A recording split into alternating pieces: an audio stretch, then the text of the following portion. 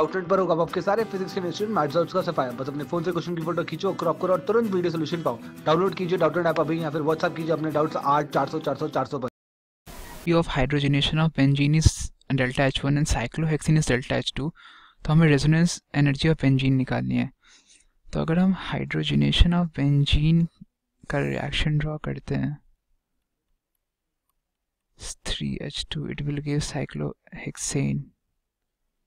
इसकी दी हुई है इंथैल्पी है H1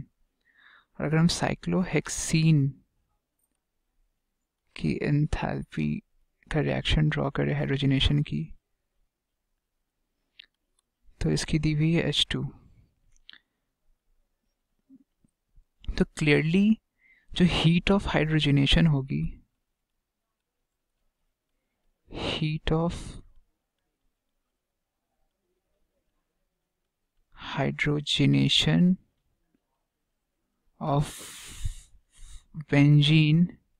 will be three times heat of hydrogenation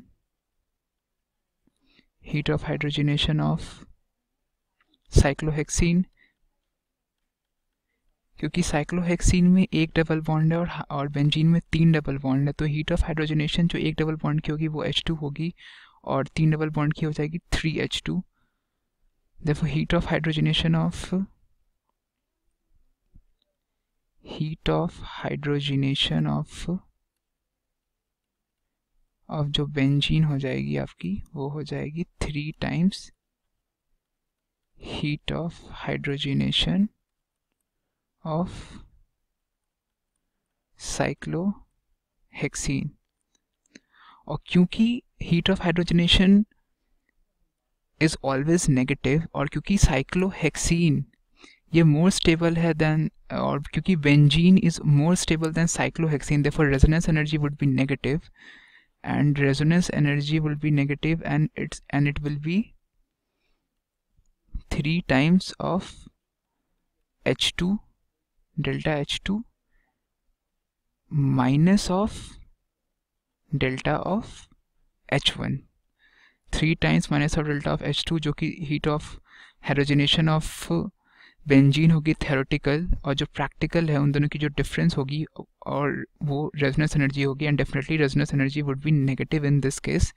because benzene is more stable than cyclohexene. So, the resonance energy of benzene. Benzene is 3 times delta H2 minus delta H1 so the correct option